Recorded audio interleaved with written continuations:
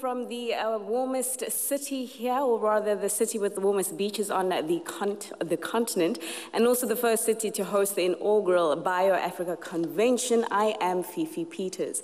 Now, for the next three days, hundreds of stakeholders, policymakers, decision makers, entrepreneurs are going to be gathered right here at the Durban International Convention Center discussing how to advance Africa's biotechnology economy.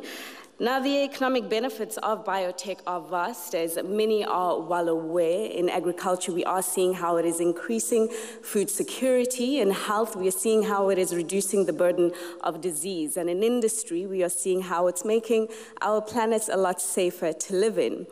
Collectively, we are all aware that combined, the African economies uh, present a marketplace of over 1 billion, billion people uh, speaking to the significant opportunities for making profits in this area. But then, what do African countries need to do to enable the billions of dollars that are currently circulating the global economy to feel welcome and to feel safe here on the continent. This is going to inform the panel discussion that is about to take place right now. And I'd like to introduce my esteemed panelists, beginning with the Honorable Mrs. Mamoloko Kubai Ngubani, who is South Africa's Minister of Science and Technology. We also have Dr. Jelai Dai, partner at Aurora Equity and chairman of Ag Food Tech USA. Professor John Ouma Mugabe, who is the Professor of Science and Innovation Policy at the Graduate School of Technology Management, the University of Pretoria. Mr. Barlow Manilal, CEO of TIA, which is the Technology Innovation Agency, and also Dr. Siyabulela Ntutela, who is CEO of Africa Bio. Thank you so much for everybody's time this morning. Uh, Minister, thanks so much for your time and for this opportunity. And if you allow me to begin with you, we are convening here to talk about how Africa is open for business. And we do know when you talk about open for business in business terms, you're referring to an enabling environment. So, can you talk to us about how South Africa initially and then perhaps speak to the operating environment on the continent is open to attract capital. Thank you very much. And just to again greet the viewers at home, those who are following our discussions. I think if you look at how South Africa has traveled in terms of since 1996, with the first white paper being established post 1994 elections, um, setting up institutions and all that, and the landscape that we have. Now, when you look at that, you'd see that we've really created a stable environment in terms of policy, um, which is what investors look for.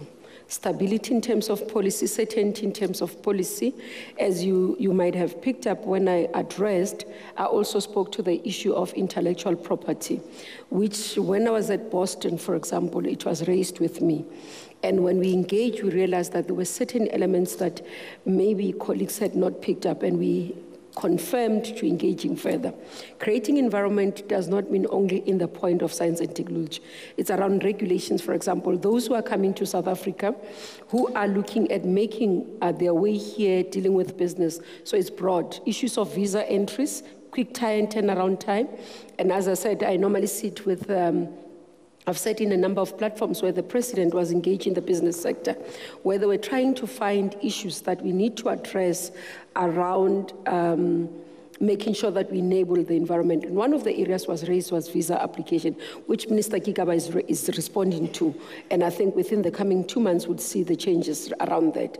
So we're looking at holistic area, both as government broadly and as the department, regulation, policy, and creating stability. But again, we are unique as South Africa and Africa around the issues. I spoke about the indigenous knowledge system. as the South African and the African continent that we have that opportunity for us to be able to partner with global companies in where we are rich. This is a rich heritage that we can be able to take advantage of and grow our economy. So those are some of the things from policy. I spoke about the issue of strategy that we have in place as South Africa, the Indigenous Knowledge System Bill, that is before Parliament. I mean, those are some of the things that I can speak to, just to say this is what we're doing. Another area around the ocean, Phakisa, which is a government program that is doing very well. Biodiversity is one of the elements. So it shows it's led from a president's point of view. It shows there's leadership as well, because part of the issues that when investors come to a country and into the continent, they look for those are the areas that I think we are doing well and we are more even into engaging, listening to the feedback on some of the areas, if there's still areas of us to improve as a country. I'd like to just uh, skip a couple of people there and I want to speak with uh, you, uh, Professor Oupa about the face of the biodiversity or bioeconomy here in Africa. And I'd like you to paint that picture for me because of your experience having worked in many other countries on the continent, and also your experience of being engaged in other in other policy in other parts of the world, such as the Netherlands. So can you just describe what our bioeconomy face looks like right now? Thank you. Yes, uh, uh, let, let me talk about biotechnology, uh, not the bioeconomy and I'll explain later why not bioeconomy. Um, uh, biotechnology uh, and the discussion on biotechnology uh, for Africa's development has been around for almost 30 years. Uh, we've been talking about the potential of this technology for at least 30 years. Uh, during that time, during that period, a number of countries have made uh, efforts. Uh, countries such as South Africa, Nigeria, Zimbabwe, um, um, Kenya have designed strategies, biotechnology strategies. Um, a number of countries, very few countries, have gone into implementing those strategies, and you see products uh, in, in those economies. Uh, biotechnologies being harnessed um, uh, and applied uh, in agriculture. there's a number of countries um, are commercializing biotechnology-based products, BT cotton. There are very few. there are very few. Uh, countries on the continent that are engaging effectively with biotechnology. Why? What's holding them back? Um, I think the minister has uh, uh, made reference to two uh, important aspects uh, why, in fact, the continent is not doing enough in the area of biotechnology. One is what I call, again, leadership, political and executive leadership. we don't have articulate leadership on the continent, from the African Union to the regional economic communities to the, the countries. Uh, very few African leaders talk about this technology. Uh, if you go to the African Union, uh, you start with the Agenda uh, 2063. There's just passing reference to biotechnology, and it's ab about marine and aquatic biotechnology. You find only two, I mean, uh, biotechnology is referred in, in two, uh, two places. What is it because perhaps they haven't awoken to the opportunities that this technology presents, or why is this not part of their conversation? Uh, there are a number of, uh, of political economy uh, factors, uh, very complex factors. One is, uh, and uh, I mean, one has to be brave to talk about this. Africa is torn, is in between what I call the transatlantic divide on, on the technology. Um, if you go to Addis Ababa, you'll find the European Union there. And the European Union advances a particular, uh, particular view, world view about this technology, biotechnology, and tends to take Africa and African leaders that direction, uh, then you have the United States of America that has a particular, particular view on, the, on the technology. So the issue of leadership is, is important in the sense that uh, uh, we, we, we, African leaders have not become really resolute uh, on biotechnology the way they are with other technologies, particularly information and communication technologies.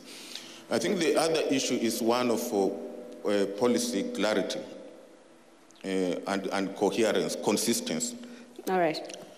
All right, let's just, let's just put a pause there because I want to flesh out the issue of a policy stability minister. You did also mention it in your address. But Barlow, perhaps you can speak to me about the issue of funding. I mean, you practice in this space, and are you finding that the reason why more and more money is not being invested in biotechnology on the continent because of a lack of ideas or because of a lack of bankable projects? Yeah, I think the first thing we must uh, dispel the notion that there is not enough talent in the country and on the continent. Um, South Africa has rich, as rich as its biodiversity. I think the, the richness in terms of, of the people and the ideas that they come up with, um, certainly not just in, in, in South Africa, but across the continent. So as far as our ability to generate ideas, we are at the leading edge globally. I think the problem that we have is providing the support mechanisms that can firstly identify these ideas and systematically support them through a process um, to take them to the market as well. The one problem we do have is the bright people in our country, I think they lack the conviction of being global leaders. And I think we need to work through that where we must stand up and ensure that South Africa, our ideas, our IP, we can fight for them and ensure that they, are, that they become leaders globally. So it's very important that we move to the NSI to make sure that it becomes a lot more efficient, but also that it repositions South Africa and the continent as well. Um, so in terms of the, the funding, in terms of availability of funding, uh, demand will always outstrip um, the supply. And I think that is because we've got such a rich um, capability in the country as well. So when you tend to do that, you've got to filter a lot more, you've got to make choices, you've got to restrict. Uh, I wish we had a budget of in excess of a billion or two billion per annum, but I think we've also got a lot of other social priorities we need to focus on in the country. So what do we need to do? We need to ensure that the, the entrepreneurs, the scientists out there become a lot more efficient in terms of how they go about processing the ideas, taking them to the market. They need to also ensure that they become a lot more business savvy in terms of accelerating it to the market versus focusing exclusively on the science. Take the science, but ensure you bring business and infuse that into the process. And we need to get a lot more private sector involvement in the process as well. So mm. the starting point is there, the holy grail is there, the knowledge base is there. We just need to look at the partnerships that take it through to the market. Mm. And in terms of becoming a lot more business savvy, uh, Dr. Jela, I'd like to speak to you about this because you said that in your experience with working with uh, African entrepreneurs, you found that sometimes we were quite uh, lacking when it came to the knowledge of doing business. You did propose a possible solution to also address the issue of support as being perhaps a corporate uh, venture capital fund being established to target African entrepreneurs specifically. I mean, how are you, where, where, are, is, where is African business in thinking on the same wavelength as you in terms of doing some of these things that you're putting forward as solutions? Perhaps I would want to sort of turn it around a little bit, what you just proposed, that I don't think it's the job of corporations to come and reach out to the young people to teach them how to do business. It's the job of families and, and overall government to make sure the educational system is properly set up and the kids are educated. And then it's, it's, the, it's a cultural thing as well. So in the US, for example, I give you a very simple example how we, our kids, learn to be business oriented from very early on. Lemonade stand.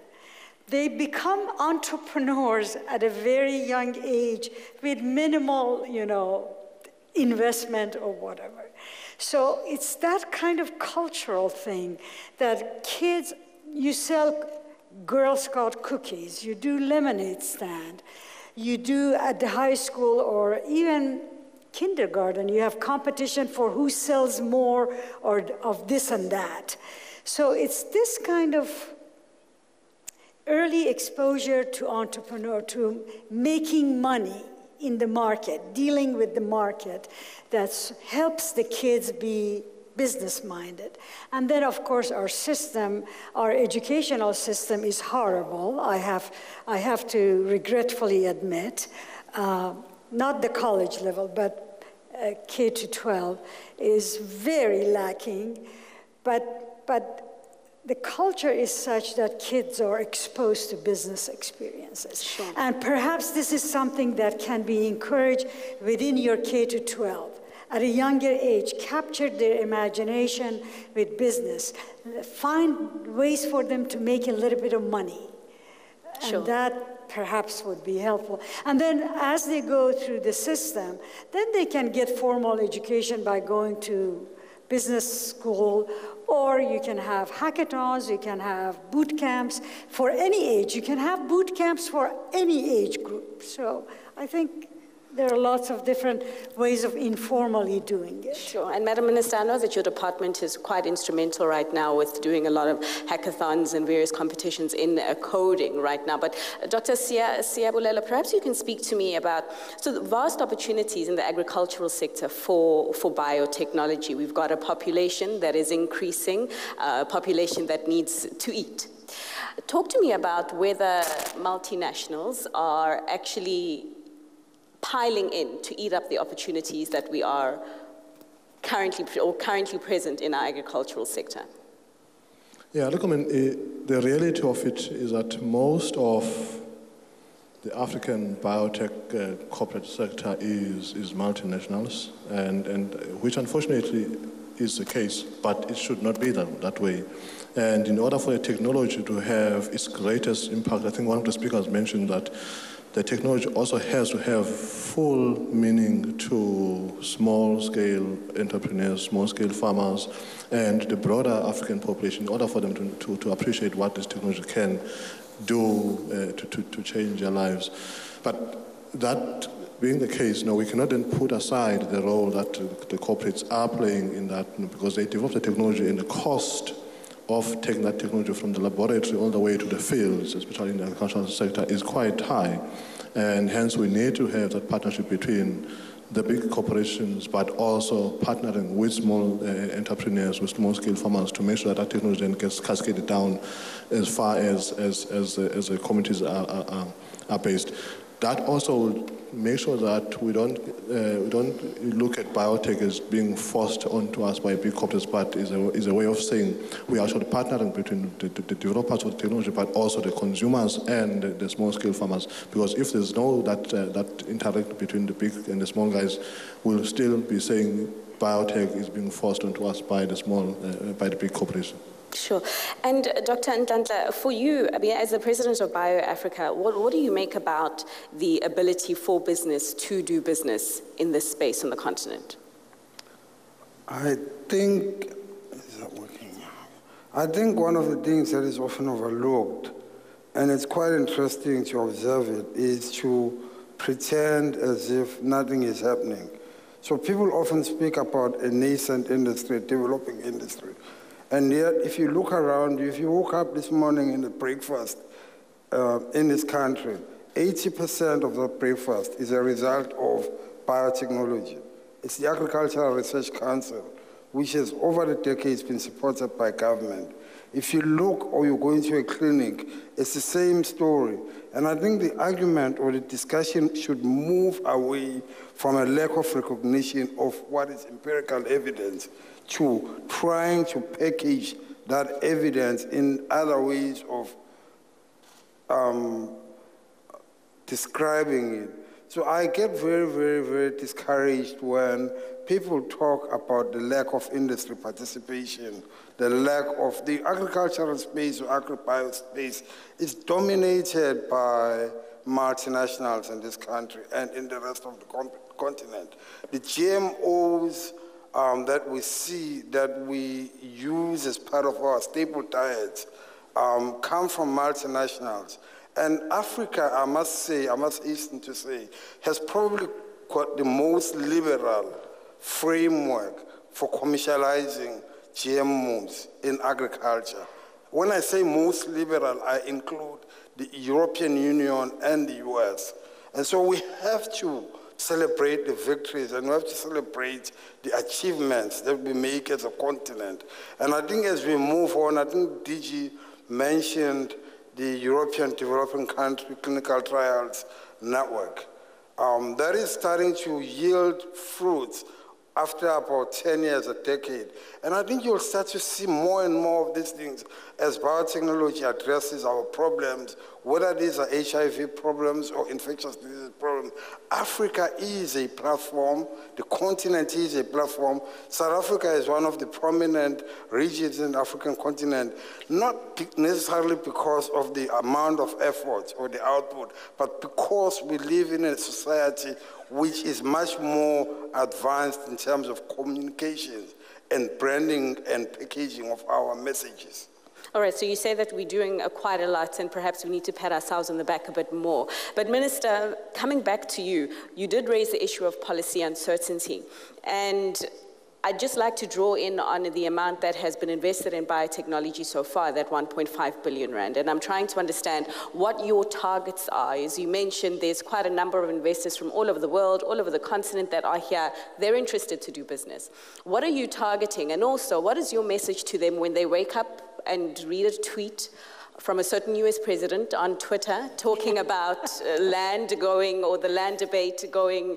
Did you have to Unfortunately, you mentioned the geopolitics in your, in, your, in your presentation. I had to. But what is, what is your message to them? Because there was a multinational that we were speaking to once that said if South Africa is looking at changing constitutions in this area, uh, what about possible changes in other areas. So your message to them as you target more investments about should there be more changes in our laws as maybe there needs to be as we try to achieve a more sustainable and inclusive environment, that their money is still safe. Um, let me start by saying if we have an economy that is growing but is not inclusive, it's unsustainable. That's the first threat. So, to make sure that the economy is sustainable and we can guarantee it for the future, it has to be inclusive. Now, I'm saying that in the context of everybody understanding where South Africa comes from. We cannot continue with an economy that has majority of its population in the margins. That's a huge threat for us in this country. Hence, the issue and the importance of making sure that we develop a system that is very inclusive, that can be owned up by every South African. So that's why it's important to understand that context. And that's why when we did our constitution as the country, the constitution that was developed post 1994 took cognizance and of where we come from. That's first thing. But secondly, we have institutions. We've developed a system in terms of our governance that we have three separate arms of government, which is the executive, the, the legislature, and the judiciary. And many can testify over the years, over democracy, that as South Africa, we have stronger systems of our governance and political system more than many countries globally, even developed countries where you find independent judiciary that can take decisions outside the executive influence. Where you find political, in terms of political participation, inclusive, where you have over uh, various parties, political parties, where you don't have one party system. You have a, a diverse, where it also parliament guarantees that diverse, that cross and checking balance of the executive. Those are some of the things that I'm saying. In terms of when you look at our system, you have to be very aware of understanding what our political system is. Then, lastly, the changes in the constitution is provided for in terms of our laws. So it's not something that is unexpected, but we provide procedures. Now, I would be worried if I was an investor, if South Africa, for example, wants to change the constitution outside the legal framework. If you look at the process that is being done and how our laws are, who has the right to change the constitution is Parliament. Parliament, which is a platform of multi-party system. Now, coming to the issue of land, should the people who invest in the in agriculture be worried? I don't think so. We've engaged quite a number of people, and I think I want to put the issues of AfriForum aside. They are being reckless, and I want to say it up front. They are being reckless, and they are not being patriotic, and they are not telling the truth. Majority of South Africans, both black and white, understand the importance of ensuring that the past injustices are addressed so that when we go forward, we don't have an, a system whereby we have people uncertain about their future. But we are saying that shall be done within the confines of the law, where we ensuring that no one, and I think the president has been very clear, and I want to say to most of the investors, please look out for what our president has said. That's the position of this government, that is the position of the ruling party in this country. That there shall be no land grab, there shall be nothing that is done outside the confines of our law. We have a system that is transparent more than any other countries. Majority of the countries are not as transparent as we are as South Africa, where it's predictable, it's clear, it's easy.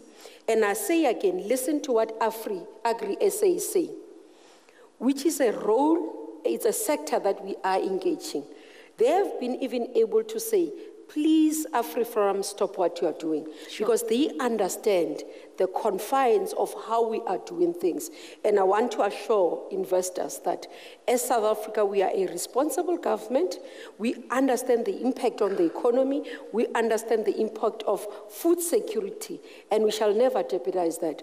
And that's why I'm saying last week even worse the president was in parliament asking answering these questions and it was very clear the messages on our websites is very clear it's there the statements are there for people to read and understand what is saying and I leave for the president and the minister of international relations to deal with another head of state. I don't want to venture into that. But just to say, I think, just to, because I don't want to find myself in that space. And I think the president is engaging broadly on that. But just to certainly say, from where we are sitting as government, we engage robustly but we are a transparent system.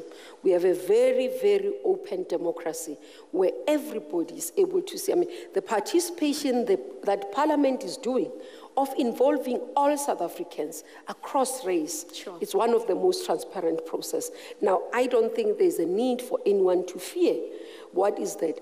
Allow South Africans to determine their future across. That's why we are saying all sectors, including those who are in business. By the way, you have black farmers who are there, who are vocal as well to say, this is what we want to see. White farmers who are, and they're living across.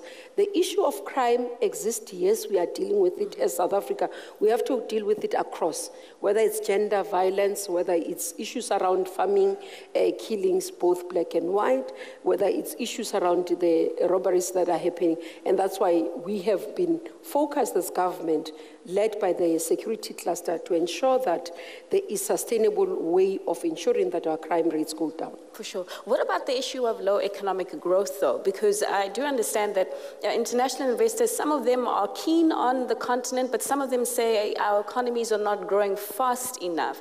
I mean, Jella, can you speak to this? The issue of low economic growth, do you say to some of those people that getting now, because Africa is trying to sort itself out and ramp out its growth? So have first mover advantage, or do you wait? Do you wait for, are you asking? For the good times to roll. I mean, it depends where you are. Uh, and, and when you say US or Europe, you're not talking about some definable uh, entity. There's, there's so many different pieces and different sets of approaches that it's hard to make a big generalization. Sure. So some people want, some nations, some groups, some people want to be on the cutting edge and create opportunities in a place like Africa. Some would wait the game to unfold and let, let things mature before we go in there. It's hard to make a general statement. Or maybe if I put things a bit differently, because as you mentioned in your, your speech, we're talking about angel investors and how you saw this level of investment sort of declining and you're quite worried about the outlook for 2019. So how, how what, what, what do African no, governments need to do to put in, to, to ensure that as that investment comes down a bit, there's still money that's being directed towards advancing biotechnology. In the US, you mean? In Africa. In Africa. Uh, I don't know how much money actually comes from angel groups in Africa. I would like to know. Uh, but, uh, but actually, it seems to me that the angel communities are not very strong. Is that a, I don't know, is that a, is that a, uh, Barlow, perhaps you can valid observation? Yes, yeah, that is the case. I mean, angel investors, I think private sector investors are not as prolific as, as government support entities uh, in, in, the country. And I think it's, you know, various reasons for that. I think the big thing is, you know, with the advent of globalization, you know, angel investors put their money anywhere in the world.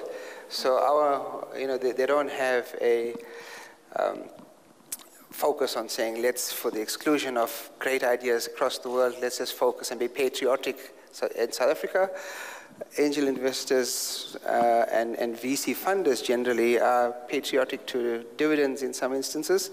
Um, so the activity in South Africa is growing, but it's not uh, to the extent that it is in, in the US. It is fledgling at the moment, yeah. In general, I think, not just Africa, I travel all over the world, even many advanced economies.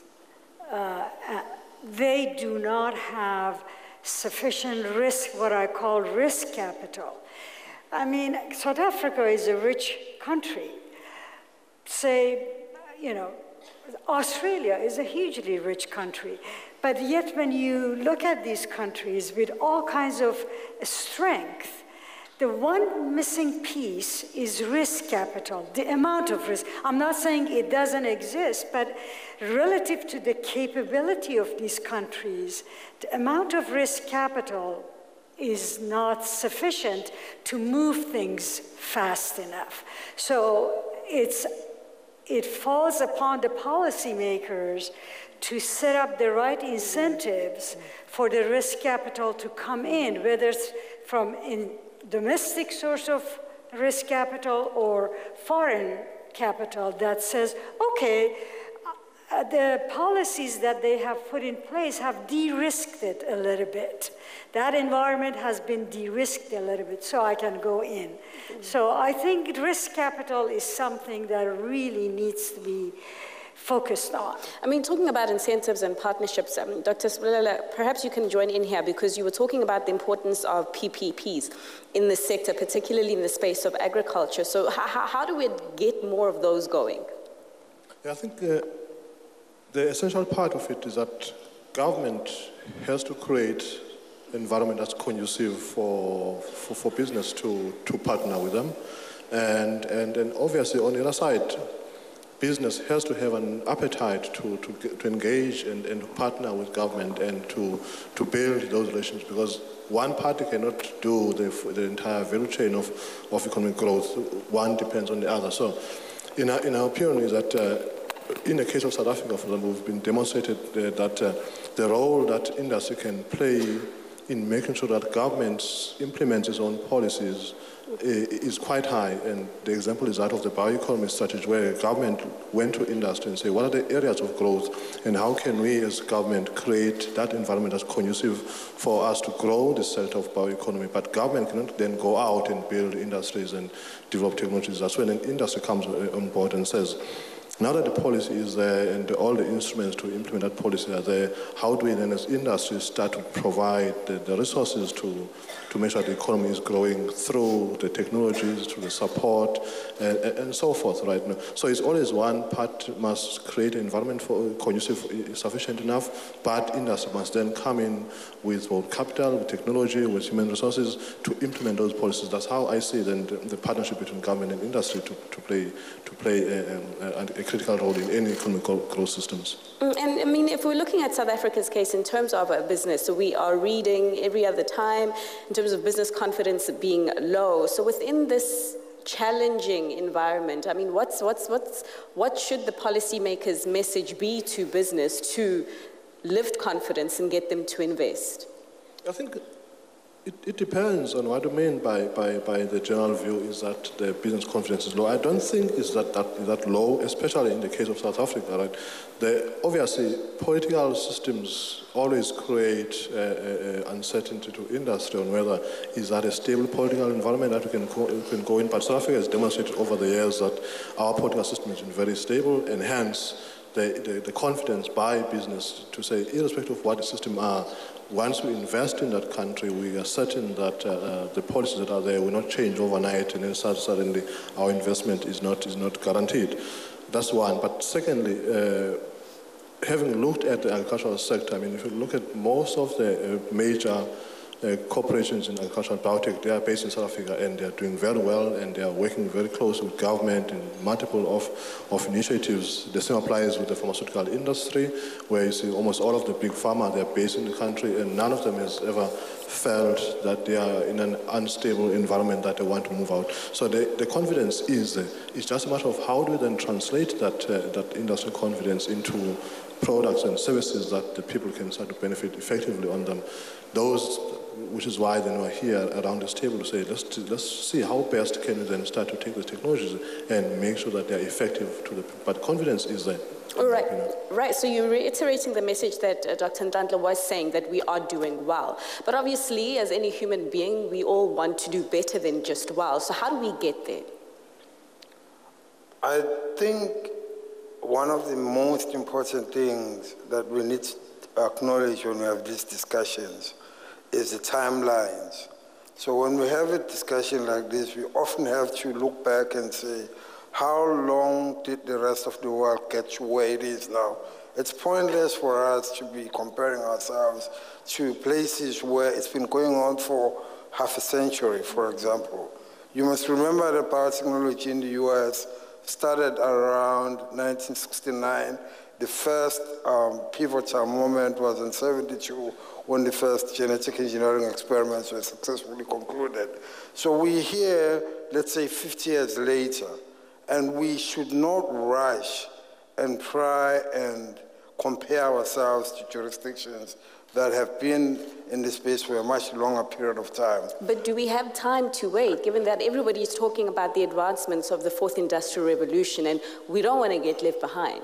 I think the answer for that is what the DG spoke about in one of his last slides, which was the convergence of technologies, where in terms of biotechnology, of bioeconomy, you need to harness the convergence of nanotechnology, ICT, and all of those. In that way, you are able to leapfrog and accelerate your own development. So you don't pay the school fees as, as high school fees as the rest of the world did. So we do have time on our side, and I think very critically, the key thing is that the government continues, and this is one of the a few, I would imagine, that um, industries where the role of government has not been acknowledged, the consistency over the past two decades, where government started with a simple biotechnology policy and has consistently invested in it. I think you've been saying that 1.5 billion rand is, is it enough? I think the way to do to ask that question is to compare it to the actual size of the venture capital industry in the country. Sure. 1.5 billion rand in a bioeconomy that is nascent, that not many people have an appetite for, is massive. You know, if you think about parity calculations and those type of calculations, you will realize that the size of the investment and all we can as an industry pray for is that the government continues on this trajectory, Sure. does not lose hope, and we as an industry embrace the commitment that the government has shown in biotechnology. Uh, Professor John, uh, just your, your, your view as a lecturer on the level of skills or the readiness of the workforce here on the continent to be taken up by perhaps multinationals who come here, who partner with small businesses and open up uh, innovation hubs here. Thank you. Yes, uh, again, Bi- biotechnology is a, a knowledge-intensive for uh, industry, uh, science-intensive. Without uh, skills, uh, no country can advance. No company can, uh, can engage in biotechnology. And mo- most of our challenges are around the right skills. Uh, the technology is moving very, uh, very fast. The, the science becoming more complex. Do we have the right skills? Genomics, for example, bioinformatics. Uh, where, where are the skills? Are our universities uh, creating the right skills uh, for, for, for biotechnology? It's a big uh, po- policy issue. It's not just uh, about money, putting money in biotech, but uh, wh- where are the skills to actually engage with the, with the technology effectively? Uh, the skills are in very short supply in most of, uh, of, of, of Africa. Um, where you have the skills, the scientific infrastructure is not there. Uh, I know persons who have gone out of Africa, been trained in bioinformatics, genomics. When they come back, they, they don't have basic equipment. Uh, so one needs to look at skills, but also the infrastructure uh, to utilize the skills that are, uh, are created. All right, but as we are, we're really uh, driving this conversation forward. I mean, looking at uh, solutions and talking about what is already being done. And Minister, I know that you are doing quite a lot in upskilling the the young people in the areas of science and technology, but also in integrating government systems in this area. So perhaps you can talk to us about should we be concerned that our levels of maths and science will continue in the, the manner that they are here in South Africa and, and how, how do we improve? Yeah, indeed, in terms of the work that we're doing, we, we, we do that in partnership with the two departments that are responsible for education. One, the basic education, and the higher education and training. On, and, and we do play our role as the Department of Science and Technology. In terms of our role, in terms of um, in the area of basic education. Obviously, we do our outreach, science engagement. We do have a strategy in place um, where we're engaging, more encouraging young learners at high school through our National Science Week and partnering with various institutions and schools. You'd remember government launched what we call Dinaledi, schools, where it was specifically to encourage maths and science. So we're playing a role there, and I think we still need to do more in terms of quality for kids to be able to compete. And with our white paper DG was presenting earlier on around our white paper, new white paper 2018. Part of what we're looking for is to be able to have a very much collaborative work and so that we can be able to say even those who have passed through um, the system, are they able to help to contribute towards that? Because the skilling is very important to make sure that the children don't get just education, but the right, the right education for the economy, which is important. And in this area of bio, um, biotechnology is very critical for us to expand. And I think linking that, I just want, if you allow me, to go back to the issue of the economy growth and what opportunities are. Yes, part of the issue that we're doing, if you can look at our economic growth, yes, we projected not very well. We projected certain percentages of growth, we are not getting that. But you look at what the World Bank has produced. World Bank has said to us as South Africa, I, I was reading the report recently, where it says innovation will be able to assist us to get out of the economic difficulties, and that's what I want to focus on. Innovation, because we're investing as government, as the colleagues have said, we're investing into the space in terms of biotechnology. But our efforts cannot be much if they're not partnered. And that's why we're looking for the partnership. And hence, this dialogue is important for us to get feedback.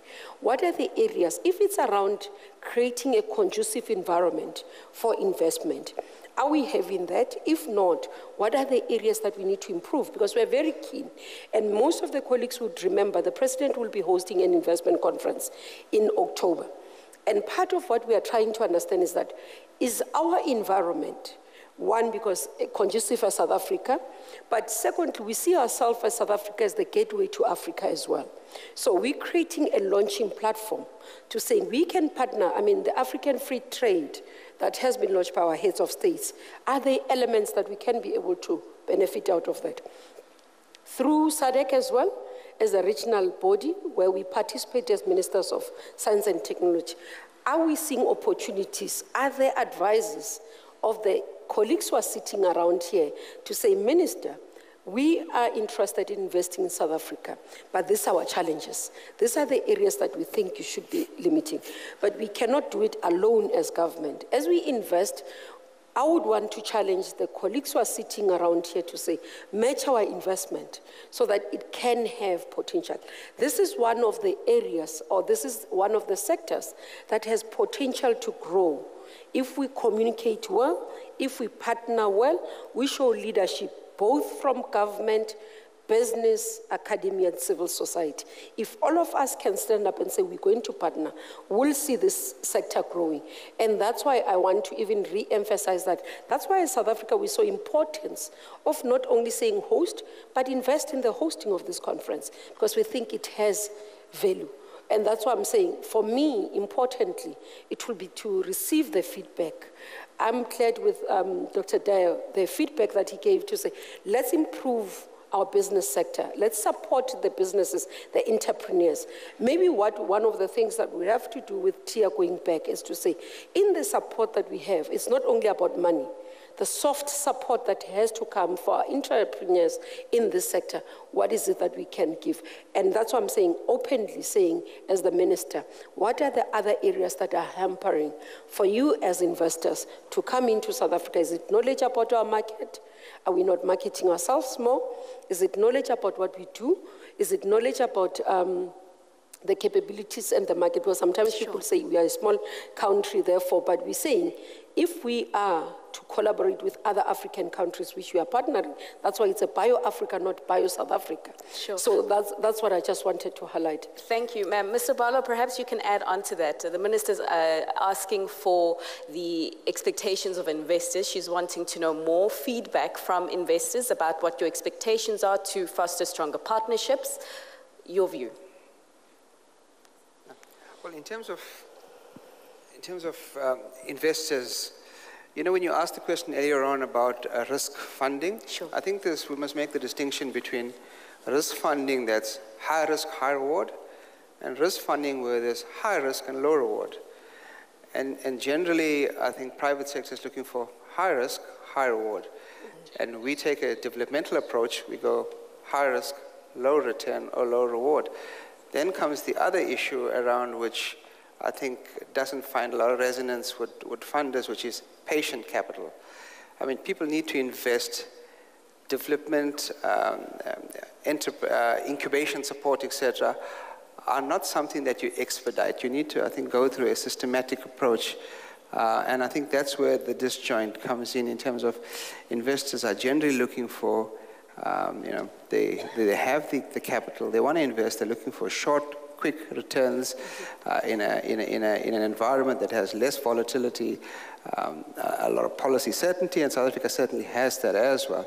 But I think we need to just change the paradigm to look for where government is not the only role player providing high risk, low return, or more patient capital in the, in the process as well. And I think if you look at the fundamentals for investment, uh, I agree with Dr. Msomi. I think we need to be a, a lot more circumspect uh, we shoot ourselves on the foot very often, largely because of the lack of awareness. We don't sell the South African story well enough in terms of where we're at, in terms of the great um, uh, you know, innovations that we have in our portfolio.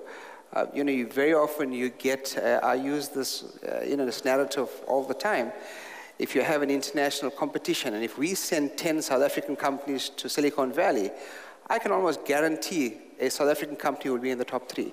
Mm. And if a South African company is in the top three, you're almost certain they're probably going to win it. Mm-hmm. That happens in the US, it happens in France. You know, what is that? That's a good validation of the capability in the country.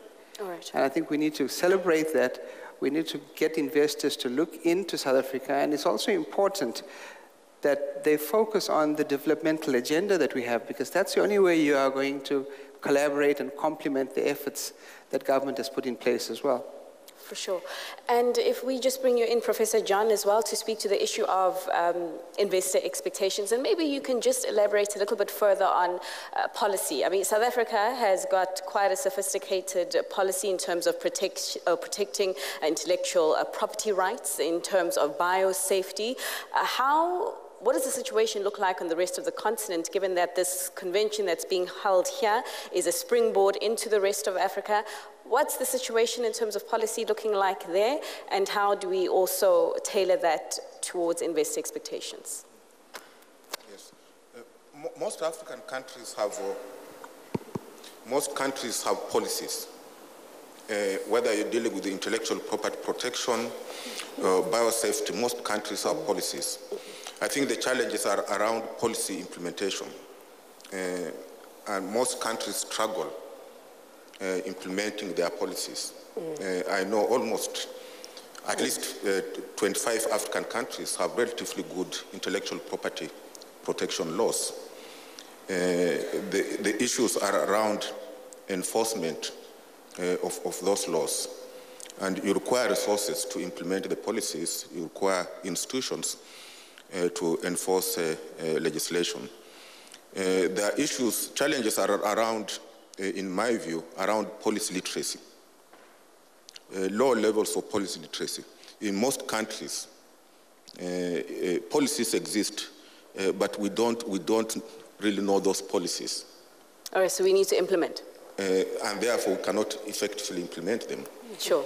Um, uh, you, in most countries, you have uh, uh, legislation, uh, but we don't know the specific provisions, so you cannot implement them.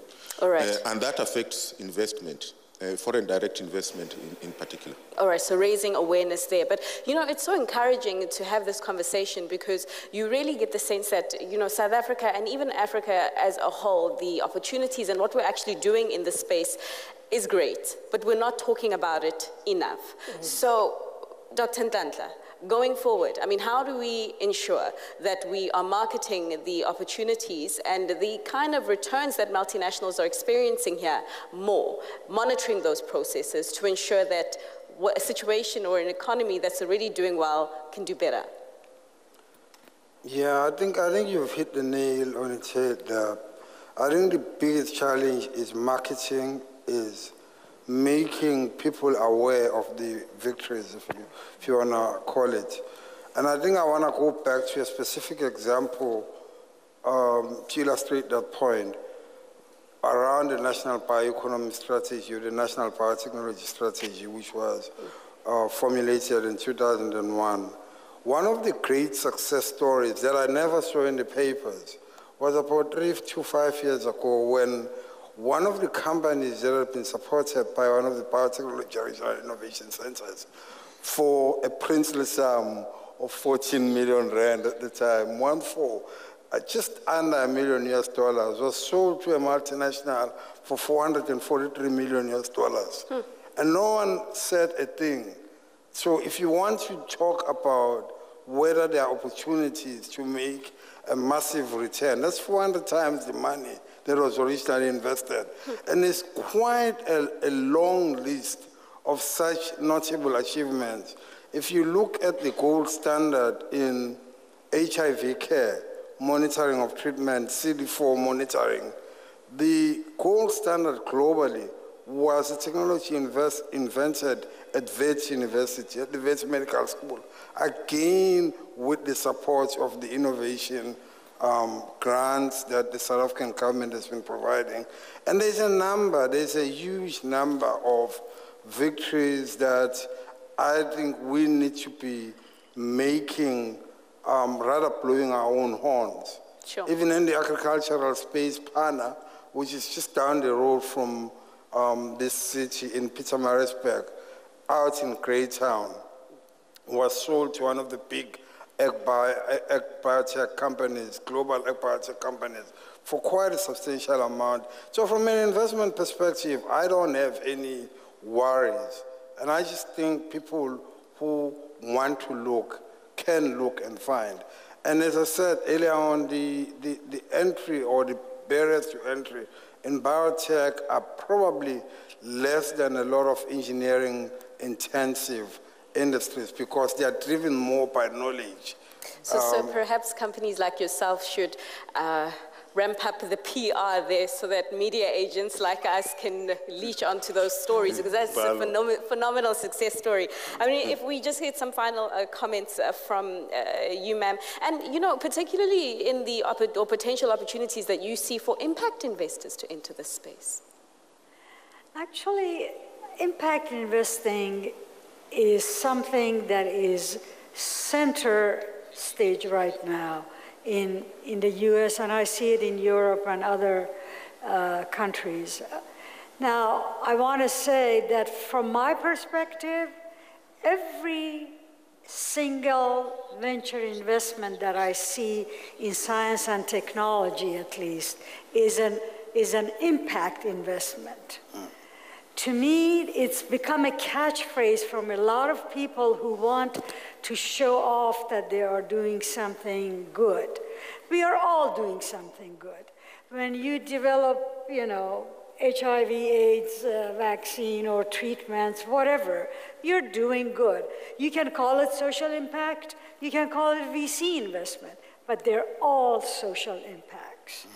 Uh, to me, that's a catchphrase nowadays. Right. More than, more than real investment. Right, thank you so much for those views. We are running out of time. Just final thoughts from you, Dr. Siyabulela, as we uh, proceed and we wrap up this discussion, and then the final thought from the Minister.